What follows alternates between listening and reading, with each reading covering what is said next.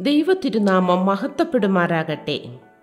മനുഷ്യജീവിതം വ്യർത്ഥമോ? സഭാപ്രസംഗിയിലൂടെയുള്ള തിരുവചന ധ്യാനത്തിന്റെ രണ്ടാം ഭാഗം. സഭാപ്രസംഗി ഒന്നാം അധ്യായത്തിന്റെ പതിനാലാം വാക്യം. സൂര്യനു കീഴെ നടക്കുന്ന സകല പ്രവൃത്തികളും ഞാൻ കണ്ടിട്ടുണ്ട്. അവയൊക്കെയും മായയും വൃഥാപ്രയത്നവുമത്രേ. മനുഷ്യന് തന്റെ കഴിവിലും ബുദ്ധിയിലും സൂര്യന് കീഴിലുള്ള സകല കാര്യങ്ങളും എല്ലായ്പ്പോഴും ശ്രമാവഹങ്ങളായി കാണുന്നു. ഭൂമിയുടെ ഉൽപ്പത്തിയുടെ ആരംഭം പോലും മനുഷ്യൻ കണ്ടെത്തുവാൻ ശ്രമിക്കത്തക്കവണ്ണം ശാസ്ത്രം വളർന്നുകൊണ്ടിരിക്കുന്നു. എന്നാൽ വിശുദ്ധ വേദപുസ്തകത്തിലുള്ള തിരുവചനങ്ങളിലൂടെ നമുക്ക് മനസ്സിലാക്കുവാൻ കഴിയുന്നത് ഇത് വിഫലമായ ശ്രമങ്ങളാണെന്നാണ്. ഈ പോക്ക് തുടർന്നാൽ ദൈവം എങ്ങനെ ഉണ്ടായി എന്നു പോലും അന്വേഷിച്ച് കണ്ടെത്തുവാൻ വേണ്ടി ശാസ്ത്രത്തെ ഉപയോഗപ്പെടുത്തുന്ന കാലം വിദൂരമല്ല.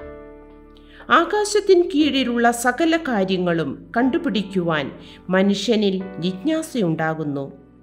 ദൈവത്തിൽ ആശ്രയിക്കാതെ മനുഷ്യൻ ചെയ്യുന്ന പ്രവൃത്തികളിൽ യാതൊരു അർത്ഥവുമില്ല. അവൻ ഉറങ്ങി എഴുന്നേൽക്കുമ്പോൾ തുടങ്ങുന്ന അധ്വാനം രാത്രി കിടക്കുന്ന നേരം വരെ തുടരുന്നു. എന്തിന്? ആർക്കു വേണ്ടി? എന്ന ചോദ്യത്തിന് ഉത്തരം ലഭിക്കുന്നില്ല. ചിലർ ഇപ്പോഴുള്ള സമ്പത്തിനോട് അധികം കൂട്ടിച്ചേർക്കുവാൻ വേണ്ടി ശ്രമിക്കുന്നു. മറ്റു ചിലർ തന്റെ സമ്പാദ്യം നിലനിർത്താൻ വേണ്ടി അക്ഷീണം യത്നിക്കുന്നു വേറെ ചിലരോ ദൈനംദിനാവശ്യങ്ങൾ നിറവേറ്റുവാൻ തക്കവണ്ണം കഠിനാധ്വാനം ചെയ്യുന്നു. ഇത്തരക്കാർക്ക് ഒന്നിലും തൃപ്തി വരികയില്ല. ദൈവത്തെ അറിയാതെ ജീവിക്കുന്ന ആളുകൾക്ക് ഇതൊരു കഷ്ടപ്പാട് തന്നെയാണ്. ഈ അവസ്ഥയ്ക്ക് എന്താണ് പരിഹാരം? ഈ പ്രപഞ്ചത്തെ മുഴുവൻ തന്റെ നിയന്ത്രണത്തിൽ നിർത്തിയിരിക്കുന്ന അദൃശ്യനായ ദൈവത്തെ വിശ്വസിക്കുകയും അവന്റെ ശക്തിയിൽ ആശ്രയിക്കുകയും ചെയ്യുക. ലോകപരമായ കാര്യങ്ങൾക്ക് ഹൃദയത്തിൽ സ്ഥാനം കൊടുക്കാതെ ഹൃദയത്തിൽ ദൈവത്തിന് സ്ഥാനം കൊടുക്കുക.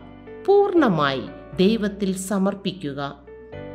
ആകാശത്തിന് കീഴിൽ സംഭവിക്കുന്നതൊക്കെയും ജ്ഞാനത്തോടെ അറിയാൻ ശ്രമിച്ചാൽ ഇത് ദൈവം മനുഷ്യന് കഷ്ടപ്പെടുവാൻ കൊടുക്കുന്ന ഒരവസരമായിട്ട് മാത്രമേ കാണാൻ കഴിയുകയുള്ളൂ. തിരുവചനത്തിൽ പറഞ്ഞിരിക്കുന്നത് പോലെ സൂര്യനു കീഴെ നടക്കുന്ന സകല പ്രവൃത്തികളും മായ എന്ന് തിരിച്ചറിയുമ്പോഴാണ് ഒരു വ്യക്തിയുടെ ജീവിതം ദൈവത്തിലേക്ക് തിരിയുവാൻ തുടങ്ങുന്നത്. അപ്രകാരം തിരിയുന്ന ഒരു വ്യക്തിയുടെ ജീവിതത്തെ ശരിയായ രീതിയിൽ രൂപപ്പെടുത്തിയെടുത്ത് അവൻ ദൈവത്തെ മഹത്വപ്പെടുത്തുന്ന നിലവാരത്തിലേക്ക് ദൈവം അവനെ ഉയർത്തുകയും ചെയ്യുന്നു. ഇപ്രകാരം എന്നെ കേൾക്കുന്ന പ്രിയ മകനെ മകളെ നിങ്ങളുടെ ശ്രദ്ധ ഈ ലോകത്തിലെ നശിച്ചു പോകുന്ന കാര്യങ്ങളിലാണോ? അങ്ങനെയെങ്കിൽ എനിക്ക് ധൈര്യത്തോടെ പറയാൻ കഴിയും മനുഷ്യജീവിതം വ്യർത്ഥമാണെന്ന്. ഈ വചനങ്ങളാൽ ദൈവം നിങ്ങളെല്ലാവരെയും സമർത്ഥമായി അനുഗ്രഹിക്കട്ടെ.